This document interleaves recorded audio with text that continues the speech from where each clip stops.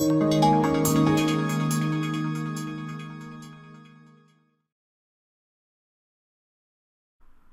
this blog we're going to take a look at design shortcuts in Fusion 360. This is a way that we can get to commands quicker without having to go and find them in the user interface.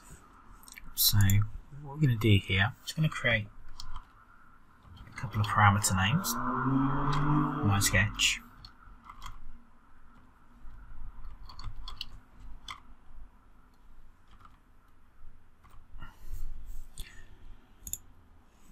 I'm then going to create my extrude.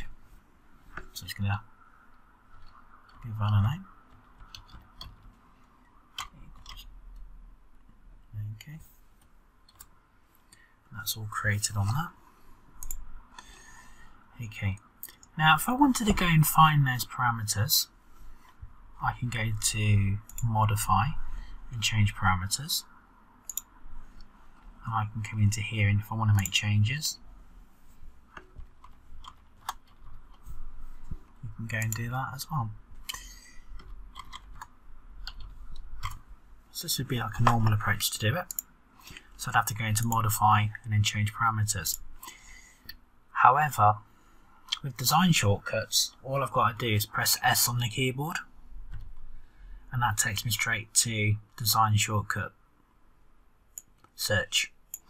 So if I'm looking now for parameters, if I just type, type in the first few characters for the command I'm looking for, we can see here that I can find my change parameters command in here. So it can be quicker to come into here and do things. Okay. Now, the thing with this command here, anything we want to look for, we can go and find. So we're looking for fillets, for example.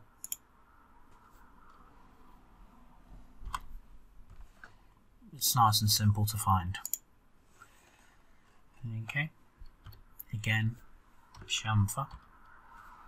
We can come into here. Anything we're looking for, we can think of a name for it. We can find it in here. So it can make our life a lot easier and quicker to create our models.